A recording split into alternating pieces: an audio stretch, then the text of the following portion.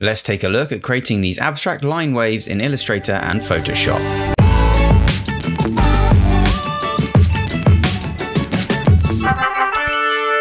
Tip Tut. Hello everybody and welcome back to TipTut and welcome to another tutorial. Today we're going to be taking a look at creating these abstract line waves in Illustrator and adding some nice blurring and glow effects inside of Photoshop. Without any further ado, let's jump right in. First thing we're going to do is uh, set up our pencil tool for this uh, tutorial. If you hover over your shaper tool and long press, you'll get the pencil tool. There's also the shortcut for N as well. And if you um, want to change the properties of this, you can do so from the properties panel up here. Click tool tool options. And for this tutorial, you're going to want your fidelity to be all the way up to smooth. And what this does is if I draw a janky line, it's going to do its best to smooth out those points. If I were to go back to my uh, tool options here and drag this fidelity all the way down and I did a similarly janky line, it's going to do its best to respect the jankiness of that line that I have created. For this series, we would like it to be incredibly smooth. Keep it selected is also a useful thing here because we're going to be um, selecting them automatically. Closing paths, not going to be affecting us for this tutorial. So what we're going to be doing is using the blend tool to um, make this technique work. I'm just going to draw myself some large swooping lines that go generally wide at the top left and bring themselves closer together towards the right hand corner here. I'm making sure that no matter what lines I do, they extend past the end of my artboard and I'm making sure also that there's a general trend towards this downward motion towards the right. Essentially, the general shape we're going to be going for is that of a triangle, which indicates direction, of course, um, and uh, motion and speed. So you can see there's this general triangle shape. If I just highlight that in red so you guys can see a little bit easier what we're going for there. So general downwards and rightwards direction with our lines here. Now we need to do a little bit of setup on the blend tool as well. So I'm going to go to my object, blend, blend options. We want to make sure that the spacing is set to specified steps. And what this is basically going to do is going to take one of our lines and a second one of our lines, and it's going to generate um, reactively, automatically, the steps between those two shapes. If you wanted it to be smooth, you would choose smooth color. And if you had, let's say, like a red circle and a green circle, it would blend uh, a number of steps required to be completely smooth between red and green. What we want is a specified number of steps. I found for this canvas, which is just 1920 by 1080, 32 seems to work. So I'm just going to hit OK on that. Now I'm just going to select all of my elements here and go to Object, Blend, Make. The shortcut is also Alt Control B. Now that you can see is going to blend all of our lines together uh, and create these um, sort of in-between segments. The beauty about doing it with the blend tool is, as you can see when you hover, it only actually still creates the first and last line of each blend. These ones in the middle you can't select. What that does mean is if you adjust a point, it's going to adjust your entire blend. So I'm going to adjust this until I'm happy with it. Just by tweaking a few points here, creating a bit more contrast and interest till I get something that I'm happier with. I don't like, for example, this thick chunk at the end here. So what I might do is just select this point and start curving it upwards a little bit.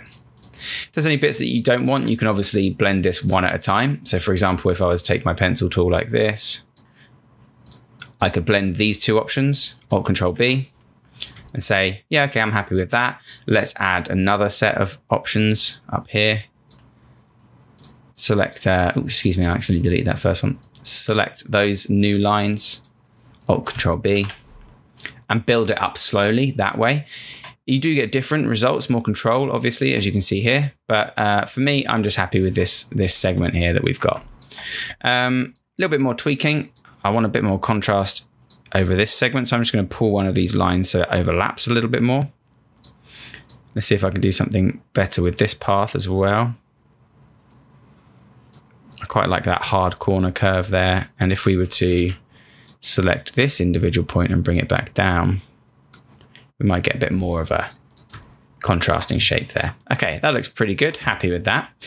Now you have two options here. I'm going to do my gradient inside Illustrator because I prefer the way that works. So I'm just going to go up to my window tool and choose gradient. And then I'm just going to choose one of these random ones just to get us started. You're going to want to make sure that it's set to the stroke and not the fill. And then it's just a case of going through and choosing the gradient that you want. I'm going to do the classic sort of through the color spectrum gradient here, going from red through to yellow, and then yellow through to green. That green's quite nice. Green through to blue. Let's choose a bit more of a bolder blue. And blue through to purple, like that. I'm going to give my blue a little bit less space because it's a stronger color. And of course, shift my red to yellow through because it's a bit more of a gradual change. And just basically tweak until you're happy with the results that you get. I'm pretty happy with that, so it's time to take this into Photoshop. So in Photoshop, I've got the same, a 1920 by 1080 canvas. I've just copied it. I'm going to paste this as a smart object and just hit OK.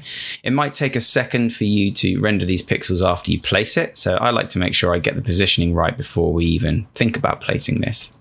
I'm just going to make sure it goes vaguely from the top left down to the bottom right and that all the ends of my lines, or excuse me, all the ends of my lines here are indeed hidden and covered.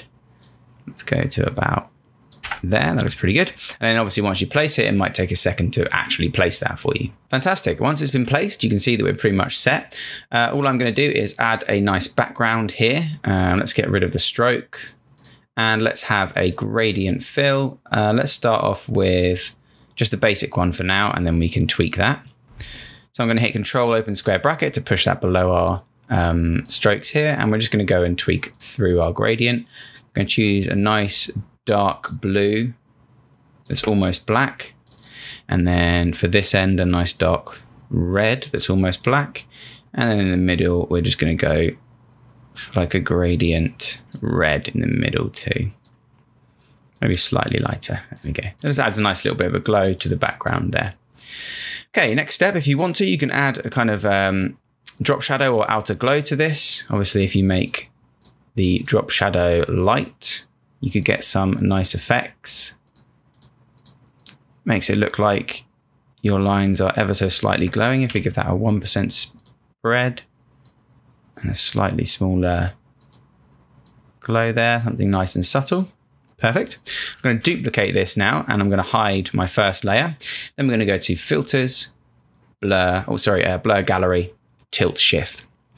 Now, when this tilt shift comes in, you're going to want the first thing to do is drag the point of this tilt shift down to the bottom right and arrange the angle up to the top left.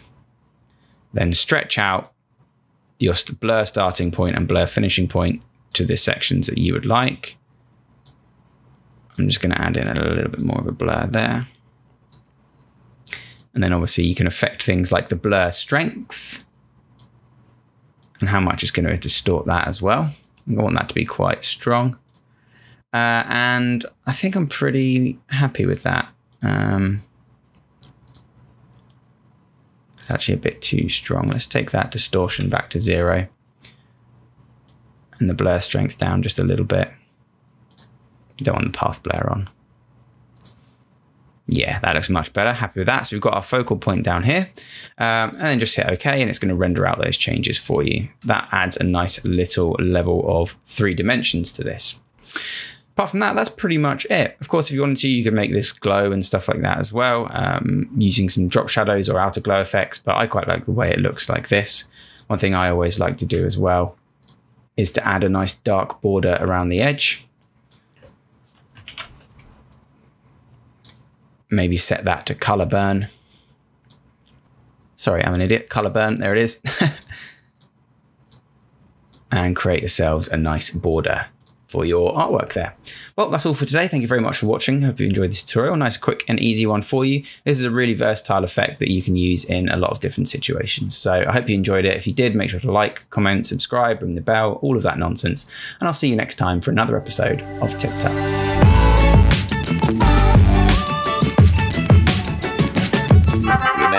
Subscribe for more tips, tricks, and tutorials. Thanks for watching.